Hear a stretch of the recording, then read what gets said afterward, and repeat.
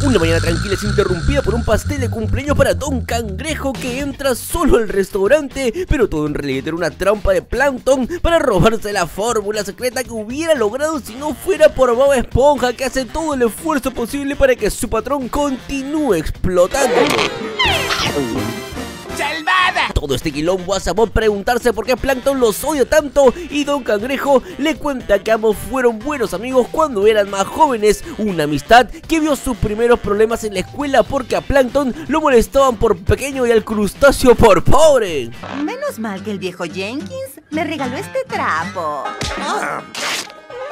Faltó ahí. En esa misma época, Don Cangrejo se enamoró a primera vista del dinero, una moneda que gastó para darle un regalo a su pequeño amigo, según él. Tengo su receta secreta, Don Cangrejo. No sabe lo que tuve que hacer para recuperarla. No, pero me lo imagino. Don Cangrejo sigue con la historia porque en esa época había un lugar llamado Apestiburger, el único lugar para comer hamburguesas de la zona, por lo que el dueño era rico y muy querido por todos los niños. Dos cosas por las que ambicionaban cada uno de nuestros panas, respeto y dinero. Por ello, deciden hacer sus propias hamburguesas, así que se ponen a trabajar toda la noche hasta encontrar la fórmula perfecta y la suerte le sonríe porque su competencia directa Apestiburger cierra por saludidad. El problema es que su hamburguesa sabe a culo. Tus hamburguesas son aún peores que las de Apestosito. Cuesta trabajo no vomitarlas.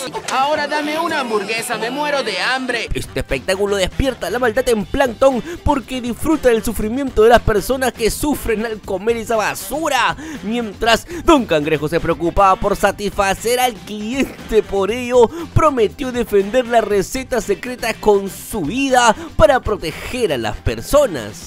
¡Mientes! ¡Oh, espera! No tenemos que volver a pasar por todo esto. Ahí Planto le cuenta su versión de la historia donde King se vuelve loco y Don Cangrejo por querer quitarle todo su dinero a un público cauto que no tiene opciones de otras hamburguesas, causando una pelea que termina con ambos separados. El asunto era que también esa era una mentira porque llega Karen que vio todo cuando ella era un sistema de seguridad. Ahí le muestra que no fue nadie a la inauguración de su local, bueno, solamente el viejo Jenkins que pasaba por ahí y a quien le invitaron la primera hamburguesa.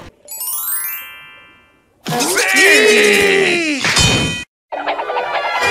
El viejo Jenkins noqueado por una hamburguesa. Ahí se pelearon por quién tiene la responsabilidad de noquear al viejo, así que Plankton quiere llevarse la receta para arreglarla y al momento de salir azota la puerta dejando caer muchos ingredientes en la salsa que le dieron el toque especial que necesitaba, así que a la mañana siguiente ambos van a ofrecer su producto. El gran Johnny come cualquier cosa. Coma una carnada burger, señor Johnny. Adelante, señor. Dígale a sus amigos lo que piensa. Y cuando prueban las hamburguesas del crustáceo quedan encantados, haciendo que el negocio despegue inmediatamente. Ahí Plankton jura que le robará la receta, comenzando una rivalidad entre ambos que dura hasta el presente, pero ambos desearían que dejara de existir. Tantos años tratando de robar tu fórmula. Y lo único que quería era robar tu amistad. Los rivales terminan expresando sus sentimientos en un abrazo, pero Plankton no puede con su genio, con sus mañas, porque roba la fórmula secreta.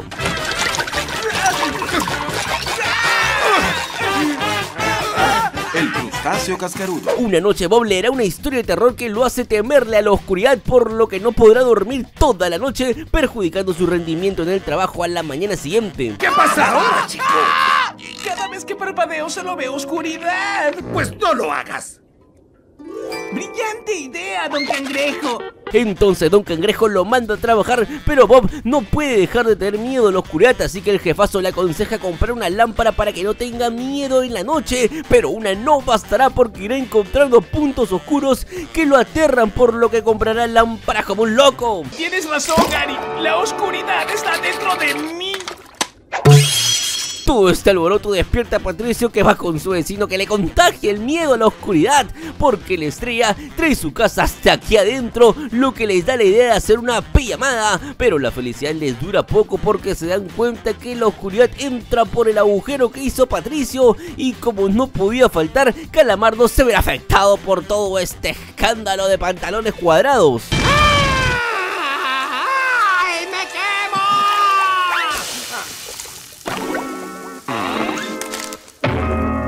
Entonces Calamardo va a ver qué poronga se está pasando. Ahí les cuenta del miedo que le tienen a la oscuridad, lo que les llega a los tentáculos al molusco que les explica que todo está en su imaginación. Pero eso no es suficiente porque los panas comienzan a reunir más luces para sentirse seguros, lo que termina ocasionando que por casualidad hagan la señal de Sirenoman que el empolvado héroe decide atender sin imaginar que se encontraría con Bob y Patricio.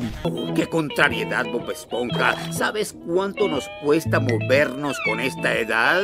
Y esas luces también atraen a la Polilla, un super enemigo de Sirenoman con quien tiene una rivalidad de más de 57 años y que el héroe de todos no puede enfrentar por lo que Bob se pone en acción y termina encerrando al villano dentro del faro. Pero eso no detiene a la Polilla porque usa su fuerza para irse con todo y la pilla de Bob. Creo que es hora de volver a casa. ¿Para qué habíamos venido? De esa manera se van los héroes dejando solos a nuestros panas en medio de la oscuridad. Felizmente en ese momento amanece y Patricio decide ir hacia la luz mientras Bob al fin se queda dormido. ¡Demasiada luz! ¡Demasiada luz! Un día normal la seguridad de Bob se verá afectada cuando llegue el cocinero que estaba antes que él y que ahora es multimillonario gracias a su talento para la cocina, pero que ha querido pasear por el lugar donde todo comenzó, recordando una época donde el crustáceo tenía clase, Calamardo una melenaza y los tres la pasaban de reputísima madre. Nosotros también nos divertimos mucho, ¿verdad, Calamardo? No. Y no solo eso, sino que sus 45 premios al empleado del mes no valen un carajo, porque solo están ahí para proteger al verdadero empleado de toda la vida. Ahí Don Cangrejo le pide que haga una pequeña demostración de la sagacidad que tiene para preparar cangreburgers. ¿Por qué es tan fantástica una cangreburger de Jim?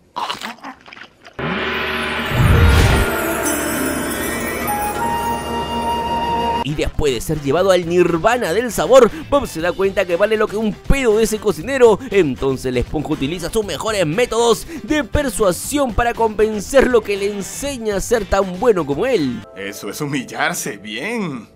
Lo haré. Entonces comienzan las clases pero la esponja no logra ser lo suficientemente buena a los ojos de Jim por lo que Bob decide renunciar al crustáceo cascarudo, una noticia que decide contarla con delicadeza a Calamardo para que no lo destruya emocionalmente. Yo soy el que se va. ¿En serio? De esa manera la esponja escribe su carta de renuncia y va a despedirse de todas las cosas que lo acompañaron durante este tiempo. Ahí Don Cangrejo lee la carta de renuncia de su empleado lo que inquieta al crustáceo porque se quedará sin cocinero. Y es que Bob ignoraba su más grande habilidad que para su jefe era más importante que ser bueno en la cocina. Tienes una cualidad que Jim nunca tendrá. Cobras poco. Además, Jim le dice que tiene cero intenciones de quitarle su trabajo porque sabe que aquí nunca pagarán decentemente. Por ello, cuando trabajaba aquí, animaba a Calamardo a abrir su propio restaurante, a lo que se negaba el molusco porque pensaba que su presencia sería breve hasta volverse famoso. ¿No quieres tener algo como respaldo? Sí, ah, también podría perder mi hermoso cabello algún día, pero no voy a comprar una peluca. Por la avaricia de Don Cangrejo es que el man se fue, cosa que le vino muy bien porque pudo hacerse millonario en lugares donde sí valoran su trabajo. De esa manera, el salamero de Bob Esponja se queda contento a seguir siendo explotado por su patrón. Buena suerte, Bob Esponja. La necesitarás. El crustáceo cascarudo no es un agujero. Oh, claro que es un agujero, pero es mío. Una mañana vemos que una larga fila esperaba que Bob y Patricio terminen de freír las hamburguesas, lo que desespera a Calamardo que va a apurarlos. Oh, muy bien, voy a... ah, bueno, no sé qué voy a hacer. Calamardo se queja del dolor porque le rompieron la cara, por lo que es llevado de emergencia al hospital y el doctor le dice que no sabrán cómo quedó su cara hasta dentro de dos semanas, por lo que la esponja vuelve en ese tiempo para presenciar cómo le quitan las vendas a sus amigos, pero esta no puede estar sin romperle los huevos al doctor. ¿Estás seguro de que el paciente tiene suficiente amamsencera? No tengo idea de lo que es eso. Y después de mucho interrumpir, por fin le quita la venda para develar que Calamardo ahora es guapo. Tanto que hace derretirse a la enfermera y roba miradas por donde camina. Desde ese momento el molusco disfruta la ventaja de ser bonito en esta sociedad porque recibe halagos, admiración y respeto e incluso inspira a los simples mortales. ¡Puedo volar! ¡Oh, oh! ¡Mi zapato está desatado! Y ese zapato le caerá... Ah, no, no, no, no cae, importa un pincho, porque Calamardo firma autógrafos, es transportado en limusina y escoltado por una muchedumbre que no se cansa de gritarle guapo toda la noche, pero no todo lo que brille es oro, porque poco a poco la cosa se irá complicando cuando los fanáticos comiencen a ponerse más intensos y robarle sus cosas para tener un poquito del bello espécimen. Simplemente tendrás que empezar a acostumbrarte. Guapo. ¡Guapo! ¡Guapo! ¡Guapo! ¡Ah! ¡Vamos por él! ¡Ah! Calamardo va con su vecino para pedirle que lo ayude a volver a ser el de antes sin tantas atenciones de desconocidos. Así que la esponja lo lleva al crustáceo cascarudo para romperle la cara nuevamente y para estar seguros, esta vez ejerce más fuerza en sus golpes, pero no resulta como querían. ¡Ay! ¡Calamardo! ¡Ahora eres más guapo! Cuando ya parecía la vaina perdida, el zapato que caía hace rato hace su entrada, lo que impulsa a Bob a proteger a su amigo empujándolo contra un poste que lo recibe con toda la cara, haciendo que vuelva a ser el calamardo de siempre, lo que horroriza a Don Cangrejo porque perdería las ganancias que tenía pensada ganar con la belleza de su empleado. Puedo volver a hacerlo guapo. ¿Lo ve? Se está volviendo guapo. Solo falta un esfuercito. Solo un poco de energía física. Mientras, el crustáceo estaba cerrado, Plankton se infiltra en sus instalaciones para intentar robar la fórmula secreta una vez más. ¿Qué está haciendo, don cangrejo? Ah, no me equivoqué, era el mismo cangrejo que estaba paranoico con la idea que le roben la fórmula, por lo que le encomendará a Bob seguir a Plankton para ver qué está tramando a esta misión. Se le suma Patricio, ahí el cangrejo les da un mensaje con las instrucciones que deben seguir, un mensaje que se autodestruirá.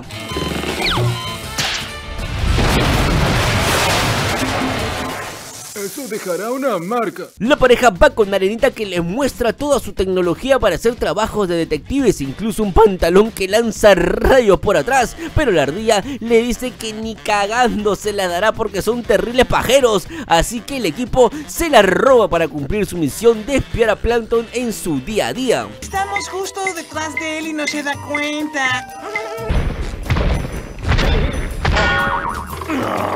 ¿Quieren dejar de hacer tanto ruido?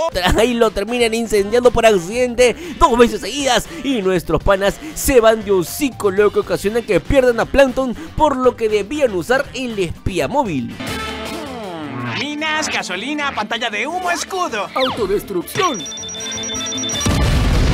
Don Cangrejo llama a nuestros amigos para preguntarles novedades sobre la investigación, así que los panitas se infiltran en el balde de bocado para saber qué planeaba Plankton, pero cuando él los encuentra piensa que se metieron a escondidas para comer sin que se entere Don Cangrejo, y si bien los detectives quieren seguir en su rol, el intestino de Patricio los traiciona. Bob Esponja, tengo que ir al baño ahora. ¿Rosquilla de ciruela? ¿Qué diablos? Entonces hacen todo un despelote y Plankton busca venganza contra su rival poniendo una música infernal que hace a los clientes salgan del restaurante mientras Don Cangrejo responde disparando a los clientes contra él. ¡Dame tu peor golpe, cangrejo! Odio mi trabajo. Ahí Patricio también es usado como proyectil que terminó destruyendo el Zeppelin de Plankton que se estrella contra el crustáceo cascarudo haciendo todo mierda pero quedándose con la fórmula secreta. El asunto es que ese no era Plankton sino Don Cangrejo y Don Cangrejo en realidad era Plankton porque ambos decidieron apostar que podrían cumplir la tarea del otro y no solo eso porque Patricio tampoco era Patricio. Entonces, ¿quién eres tú? Yo no estoy usando ningún disfraz. Y después de un tuki tuki de sacarse los disfraces, al final eran los mismos, no había ningún cambio. Solo hay una cosa que no entiendo.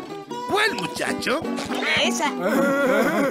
Una mañana Don Cangrejo intenta motivar a sus empleados para incrementar sus ganancias, así que les promete que el primero en memorizar los nombres de todos los clientes tendrá un premio. El empleado que aprenda más nombres ganará esto.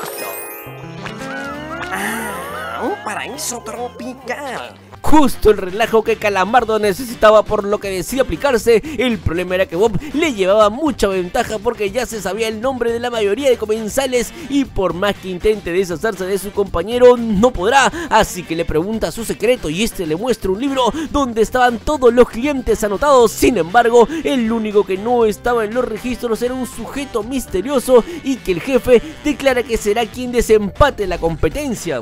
Mi nombre es Calamardo. ¿Y cuál es el suyo, amigo? ¿Qué te importa? Calamardo insiste pero recibe la misma respuesta el hombre que no quiere que le rompan los huevos, así que nuestro pana toma medidas más extremas porque lo sigue hasta la calle donde le roba la billetera para leer su identificación, lo que genera una persecución con la policía hasta que el molusco es acorralado, lo bueno que la lucha hasta que consigue su cometido. Su nombre es... Eh... Señor, ¿qué te importa? Todo este quilombo le causará problemas porque lo sentencian a 10 años de la cárcel. Lo bueno que ganó el concurso y al final de su condena podrá disfrutar de su premio, que en realidad no era un crucero, sino el folleto que estorbaba a Don Cangrejo en su escritorio. Y es que también había que ser bien imbécil para pensar que el crustáceo gastaría un centavo en un empleado. Al menos tendré un poco de paz y tranquilidad durante los próximos 10 años. Eh, sí. Oye, Calamardo, ¿parchís? Una mañana que Bob hacía sus compras se encuentra que en una caja de cereal le daban un premio gratis, pero cuando la compra ve que no hay ni Gampi porque no leyó la letra pequeña. Premio gratis. ¡Oh! ¡Oferta adentro! Solo envié 99 tapas de caja. Y después de caer en la trampa de los pendejeretes hombres del marketing, la esponja manda las cartas para luego esperar que le traigan su premio. Ahí llega Patricio y juntos reciben al cartero, pero este no trae el juguete. De esa manera, las horas pasan y el hambre apremia. El asunto es que Bob no quería moverse por el miedo a que llegue el cartero y no lo encuentre, así que su amigo lo abandona ahí y Bob permanece firme porque rechaza darle comida a Gary y jugar karate con Arenita. Entonces nuestro amigo amarillo comenzará a perder la paciencia poco a poco por lo que trata mal a Patricio, que solo quería darle el pastel y regalo de su fiesta sorpresa que se perdió por estar aquí esperando. Ahí la estrella, en su intento por buscar un tenedor para su amigo, se termina comiendo el pastel. Era mi pastel. ¿Cuál es mi regalo? ¡Oh, sí! ¡El tenedor! Bob se arrepiente de todo el tiempo que perdió esperando ese dichoso juguete y lo mal que se comportó con el resto de compañeros. Dos heridas que destrozan a pantalones cuadrados que está desconsolado y justo ahí llega el cartero. Solo necesito su firma, eh. ¡Dije que no se sentía bien! ¡Ya déjenlo en paz! Felizmente el cartero no se va y Bob lo recibe en automático hasta que se dan cuenta que por fin tiene el juguete. El problema es que al primer toque de Patricio este se rompe, lo que termina desconsolado controlando a Bob. Sigue caminando, Calamarcito. No hagas contacto visual. Y como esos gritos no se detienen, Calamardo debe intervenir y le muestra que el juguete no estaba roto, sino que se suponía que hacía esa cosa de los resortes. ¿Cómo podemos agradecerte? Sí, ¿cómo podemos agradecerte? Múdense a otro vecindario. Una mañana, Gary ve que su plato está vacío, por lo que va a despertar a Bob que le trae una comida orgánica para caracoles que a Gary le chupa un huevazo porque prefiere comer el hongo verde del suelo, lo que no le permite pantalones cuadrados que se pone a limpiar esa cosa que no es fácil de eliminar. Hola, Bob Esponja. ¿Oh? Ocurre algo, Patricio. Patricio alerta a Bob de la cosa verde en su cabeza que lo pone nervioso a nuestro amigo porque no se quita con nada y encima pica como mierda. Y a pesar de tener esa infección, nuestro amigo amarillo igual va a trabajar esparciendo esa mucosidad por la cocina y pronto más partes de su cuerpo se llenarían de hongos, lo que intenta ocultar de los demás. Bob pide ayuda a su amigo de años y Calamardo alerta a control de plagas inmediatamente que se llevan de la manera más hostil a la pequeña esponja. ¿Qué pasa, Calamardo?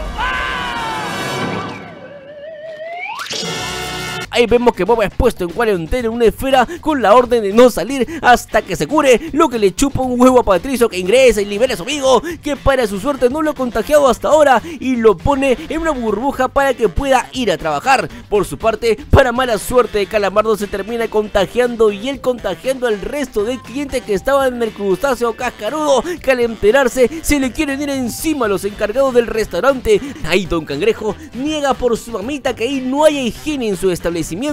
Lamento llegar tarde, don Cangrejo. Bob Esponja se reporta nuevamente a su trabajo, señor. Ya con esa prueba las personas deciden destruir el establecimiento y Cangrejo pone el centro a Calamardo para que se desquiten con él y Calamardo ni huevón que fuera le tira dedo esponja.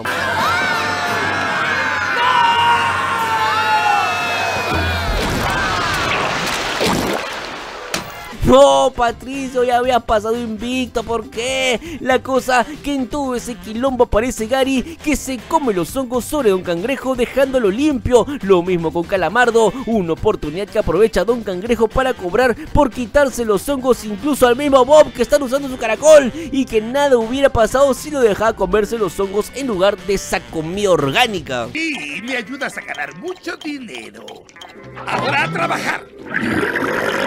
Gracias por ver este video y no me quiero ir sin antes mandarle un saludo a Alexander Luz, a Cristian Carrerno, a El Hombre Diamantito, a mi brother Keko, a Laura Jara, a Luis Pérez, a Manuel Reyes, a Mark Fer, a Midas Random y a Victoria Sorugo que fueron los primeros en comentar el video anterior y gracias a todos los que comentan, likean y se suscriben porque ayudan a crecer esta bonita comunidad. Conmigo será hasta aquí, yo soy tu amigo César André y nos vemos en el próximo video.